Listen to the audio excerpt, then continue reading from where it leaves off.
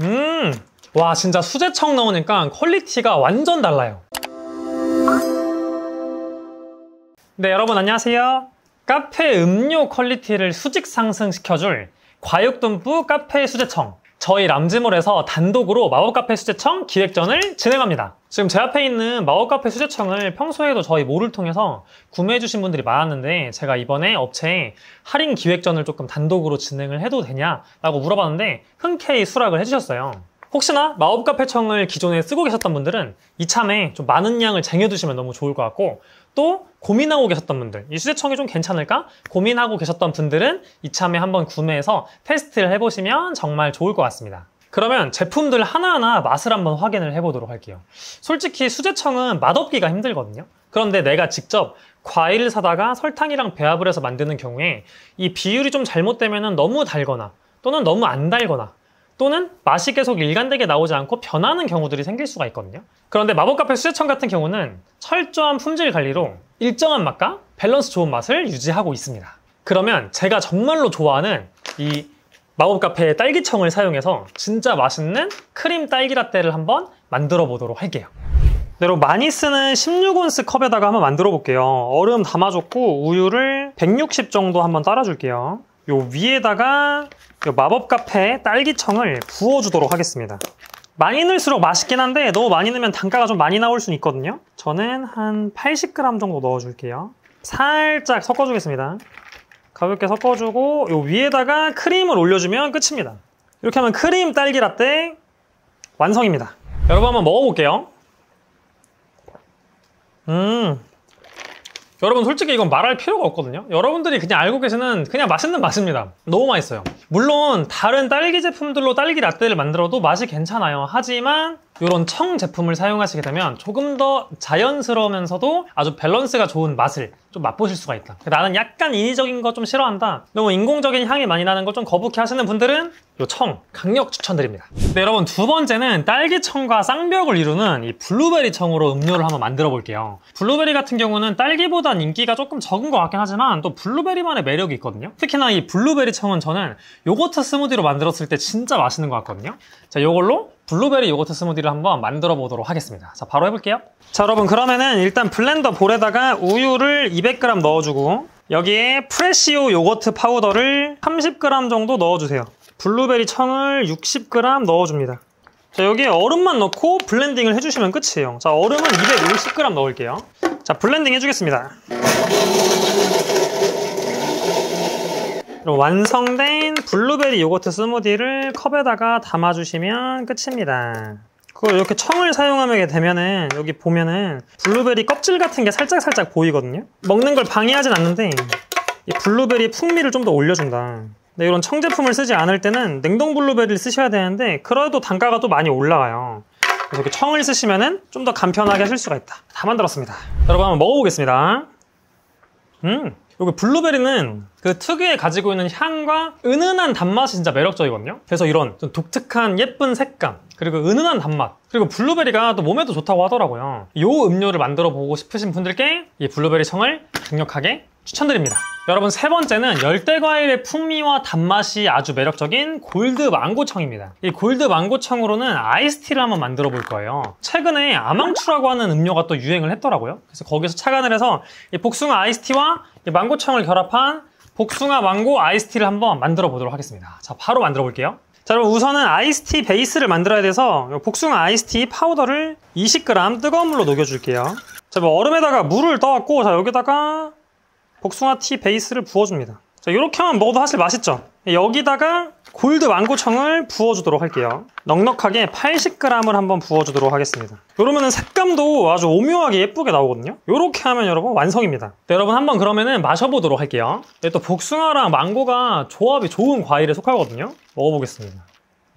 음. 이건 진짜 그냥 맛있어요 이것도. 특히나 이제 망고가 갖고 있는 그 약간 독특한 향이 있잖아요 열대과일스러운 그 향이랑 복숭아의 단향이랑 너무나 잘 어울리거든요. 뭐 이제 좀 겨울이 와가지고 추워지긴 하지만 우리나라는 어차피 얼주가의 나라잖아요. 그래서 이 아이스티도 저는 겨울에 많은 분들이 드신다고 생각해서 이번 겨울에 조금 독특한 아이스티를 출시해보고 싶다 하시는 분들께 이 골드 망고청 꼭 추천드릴게요. 여러분 네 번째 소개해드릴 청은 바로 이 붉은 홍자몽청이에요. 저는 실제로 자몽청으로는 자몽에이드 만드는 걸 제일 좋아하거든요. 왜냐면 이제 밥을 먹고 났을 때 좀 텁텁할 때 있잖아요. 그때 쌉싸름한 느낌의 자몽에이드를 먹으면 입안이 좀 개운해지더라고요. 그래서 이 자몽청으론 자몽에이드를 한번 만들어 보도록 하겠습니다. 그런데 자몽에이드를 만들 때 자몽청을 쓰는 게 좋지만 자몽청만 쓰는 것보다 이런 자몽 베이스를 함께 활용하시면 그 자몽 특유의 쌉싸름한 느낌을 훨씬 더 매력적으로 강조하실 수 있거든요. 그래서 얘를 같이 써서 조합해가지고 자몽 에이드를 한번 만들어 볼게요. 자, 16온스 컵에 자몽청을 60g을 따라주시고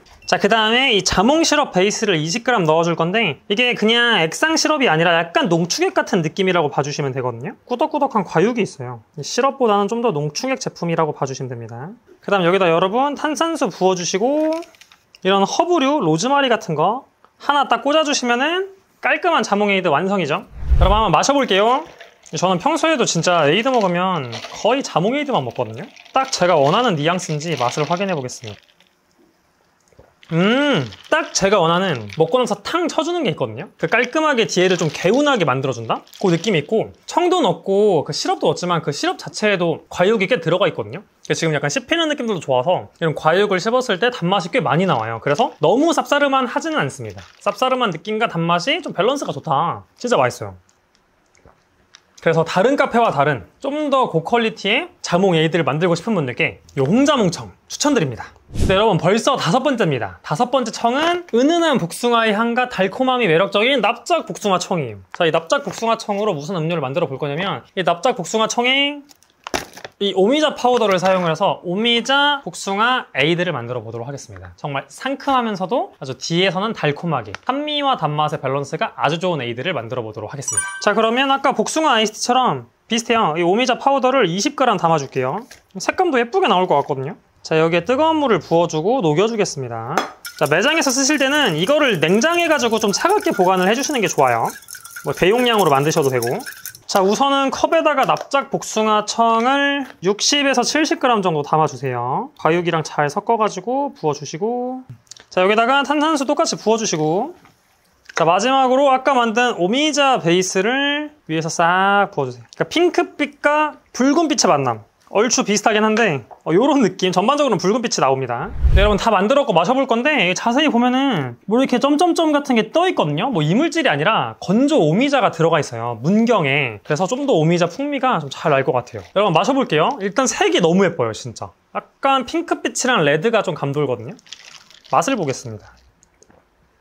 음 일단은 이 복숭아 청 자체가 풍미 자체가 복숭아 느낌이 좀 많이 나거든요. 그리고 이 식감이 엄청 물렁물렁하지만은 않고 약간 씹히는 식감이 있어요. 막 딱딱한 건 아니지만. 그 식감 자체도 재밌고 오미자랑 복숭아랑 엄청 잘 어울린대요 진짜. 오미자의 그 새콤한 산미와 달달한 복숭아가 밸런스가 너무 좋아요. 약간 좀 기름진 음식 먹고 나서 좀 상큼한 음료가 땡길 때 이런 음료 만들어 먹으면 너무 좋을 것 같아요.